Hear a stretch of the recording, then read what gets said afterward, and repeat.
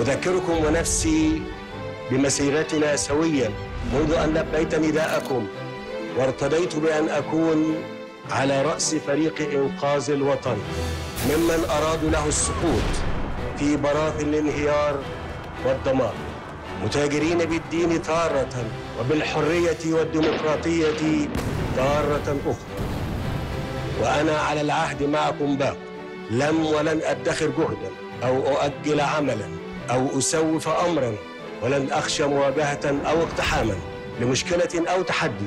وزادي في طريقي هذا هو اليقين بعظمة وعراقة أمتنا. وإيماني بأن اصطفاف الشعب المصري العظيم هو ضمانات الانتصار والعبور نحو المستقبل.